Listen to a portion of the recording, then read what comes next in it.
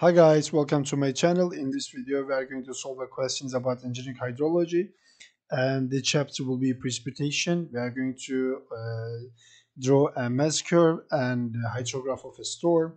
So uh, let's solve the question. First, I'm going to write the uh, data as are given into this table.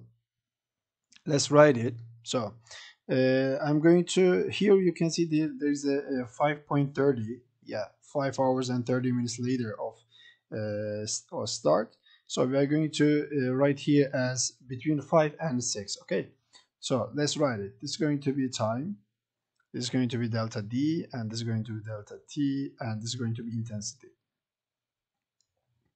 And this is 0 and between 0 and what 3 okay and uh, between 3 and 5 and between 5 and 6 because I'm going to uh, just write between 5 and 6 I don't need to write the 530 and this is going to be uh, between 6 and 7 and it's going to be between 7 and 8 so let's write delta D. What is delta D? Delta D is the uh, depth, uh, so rainfall depth between the two specific hours. So this is between 0 and 3. What is that? 24, right? Um, between uh, also 24 is 30. Uh, sorry, this will be uh, millimeter. Yeah, I forget to write it. And between the five, uh, 3 and 5 is going to be 6. And between uh, 5 and 6 is going to be 7. And between 6 and 7 will be 1 between 7 and 8 is going to be 0 okay so let's write delta t what is delta t the time differences between the two specific uh, hours okay? It's going to be between 0 and 3 what is that 3 between five, 3 and 5 what is that 2 between 5 and 6 1 between 6 and 7 1 between 7 and 8 is 1 so let's uh, calculate the intensity. Intensity is the ratio of delta d over delta t. So 24 over 3 is 8. 6 over 2 is 3. 7 over 1 is 7. 1 over 1, 1, and also 0. So now we have intensity. So let's uh, draw the hyetograph and then we are going to draw the mass curve also. One second. I'm not good at uh, drawing, but I'm going to do my best.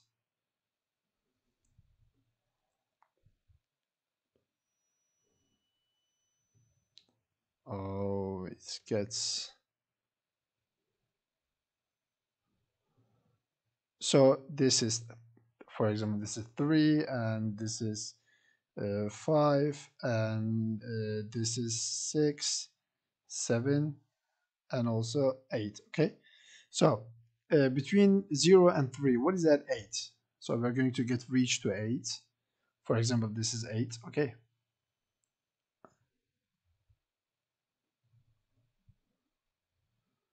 this is 8 and between 3 and 5 what is that? 3 and 5 is 3 you can see the value of intensity. Uh, for example this is 3 between 3 and 5 so between the 5 and 6 what is that? 7 for example this is 7 between 5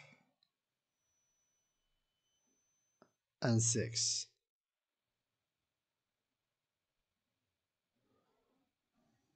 so this will be 7 and we have between 6 and 7 is 1 for example this is one okay? Now this is the hyetograph of our storm.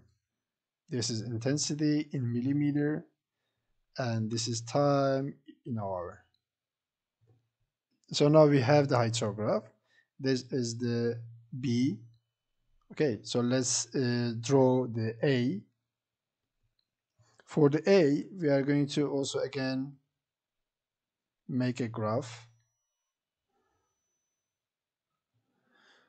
And this is 3, this is 5, 6, 7, 8. And for 3, what is the, we are going to take the cumulative of delta D, okay? Take the cumulative of delta D. 24 between 0 and 3, okay? Between 0 and 3 is 24. So let's write this 24. The point of the match point of this uh, both data is this one. So let's uh, write the next one. Between 3 and 5 is 6. 24 plus 6, 30. Okay. 24 plus 6 is 30. And this will be this point. It is just approximate because I don't exact uh, I don't draw the exact values here.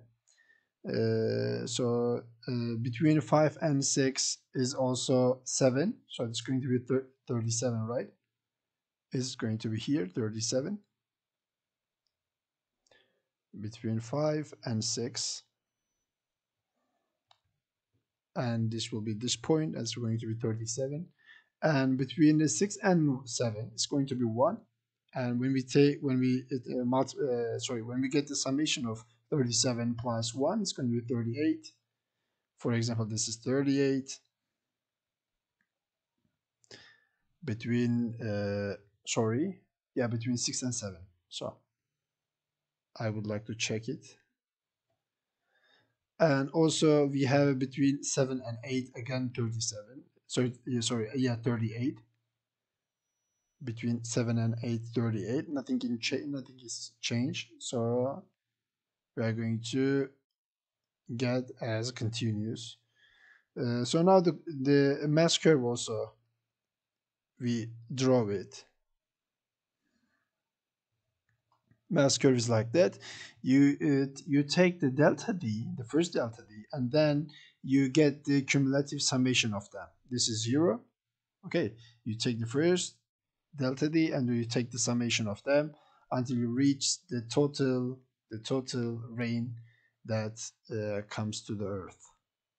Now this is the mass curve so uh, let's calculate it says that if 35% of the total rainfall becomes surface runoff find the volume of runoff in meter cubic from this basin 30% of rainfall is runoff.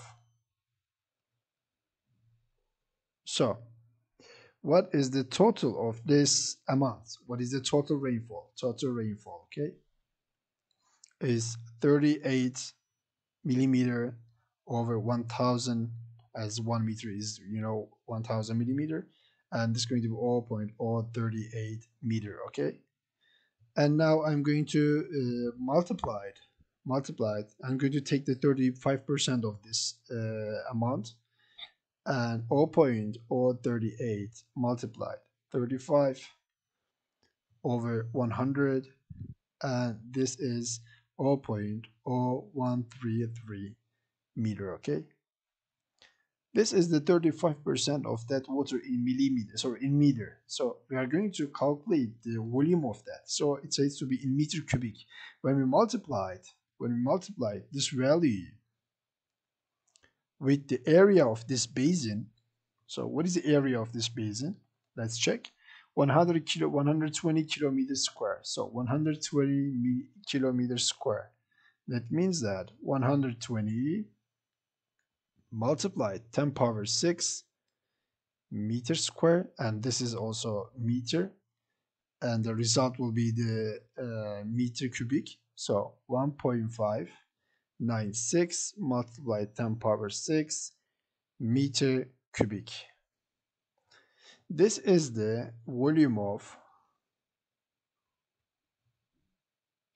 surface runoff okay Yeah, surface runoff.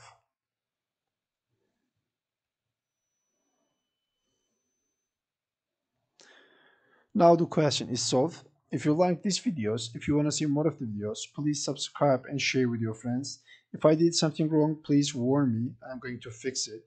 Thank you for watching. See you for the next question.